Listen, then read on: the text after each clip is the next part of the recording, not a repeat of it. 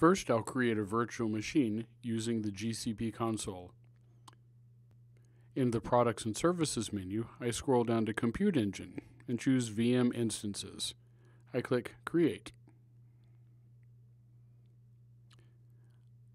I'm going to name my VM instance my VM1. I'll accept the zone that's offered to me. I'll accept the default machine type. I'll accept Debian GNU Linux 9 for its operating system.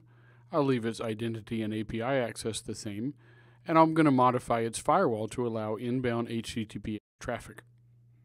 Now I click Create.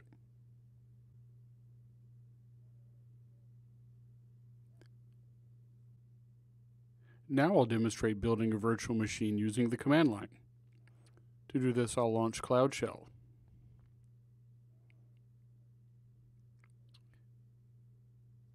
Let's put Cloud Shell in its own window.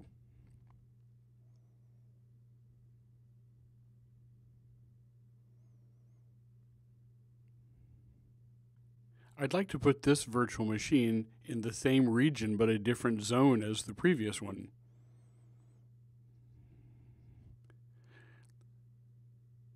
Our first VM is in the US Central 1 region. Let's display a list of all of those zones in that region.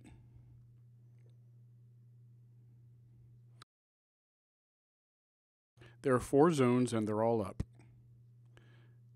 I'm going to set my default zone for new virtual machines. I'm going to set my default zone for new virtual machines to zone C. Now I'll launch a new virtual machine using the gcloud command.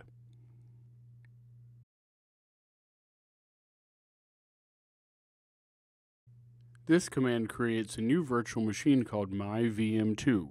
Its machine type will be N1 Standard 1. It'll be a Debian Linux 9 version machine, and it'll be connected to my default subnet.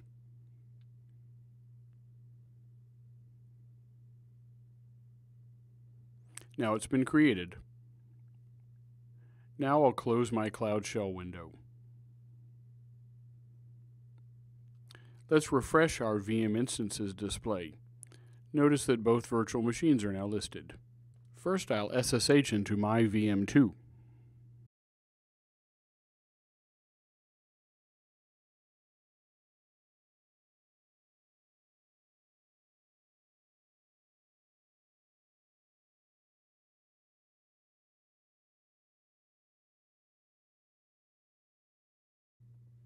I'll try to ping my VM1.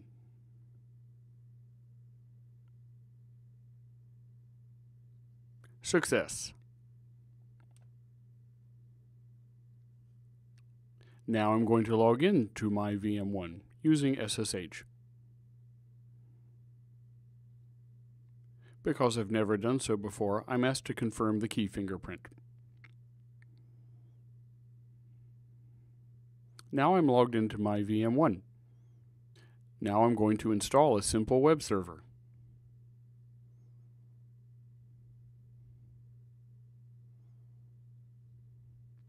And I will edit its default homepage.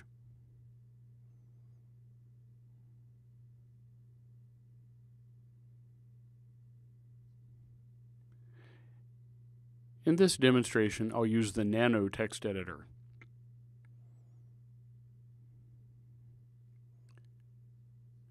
I'm going to edit the homepage simply to include a custom message.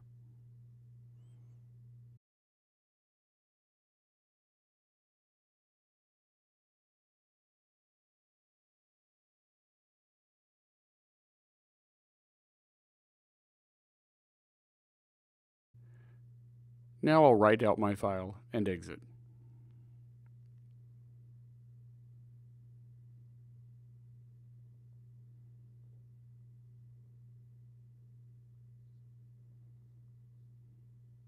Now let's confirm that the web server is serving my new page. I'll use the curl command line web browser.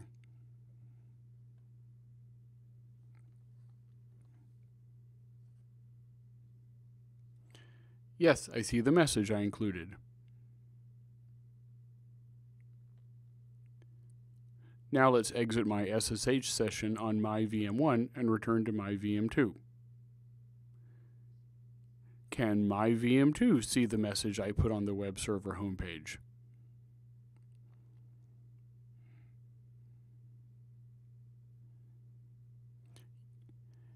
Yes, it can.